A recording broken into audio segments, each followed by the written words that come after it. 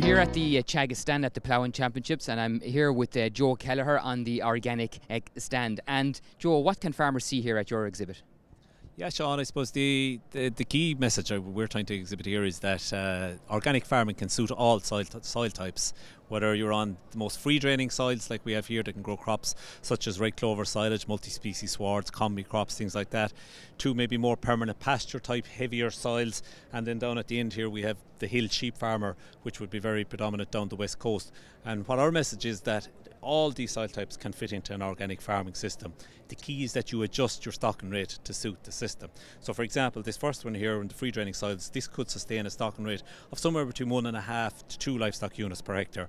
Whereas the hill sheep farmer and the extreme end below, you'd be typically looking at a stocking rate of 0.15, which is the minimum in organics, to a half a livestock unit per hectare. So the key is we, we don't want you everyone to be putting in maybe these type crops. You suit your stocking rate to match the swards you have on your farm. What are the main benefits to farmers who join organics, and can they join now at the moment?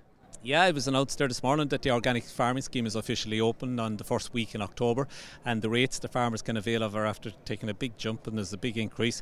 So, for example, the dry stock farmer who probably is most interested in organics, the sheep and the beef farmers, they can get 300 euros per hectare in years one and two while in conversion, and then that rate goes to 250 euros when fully converted.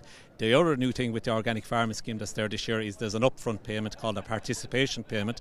So all organic farmers will get 2,000 euros of an upfront payment in year one, and then they get 1,400 euros in years two to five uh, before the per hectare payment kicks in. Excellent, uh, Joe. And come and join us here at the Teagasc stand, uh, stand row 17, uh, stand 282.